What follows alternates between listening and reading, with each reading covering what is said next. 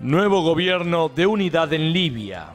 El Consejo Presidencial de Libia formó un nuevo gobierno de unidad nacional que une así el poder en el país, repartido hasta ahora por los parlamentos asentados en Tobruk y Trípoli.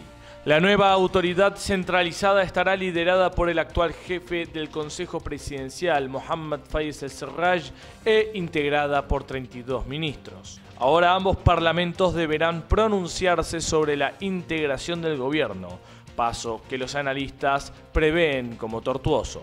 Por su parte, el enviado especial de la ONU para Libia, Martín Kobler, envió sus congratulaciones al pueblo libio y al Consejo Presidencial por la formación del gobierno de acuerdo nacional.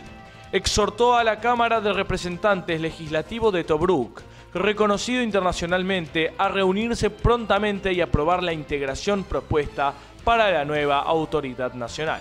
A su vez, la misión de soporte de la ONU en Libia, el UNSMIL, calificó el hecho como una genuina oportunidad para los libios de reunirse para construir su país. De otra parte, el Parlamento de Trípoli amenazó el pasado fin de semana con arrestar a cualquier miembro de las fuerzas de seguridad del Consejo Presidencial que arribe a esta capital.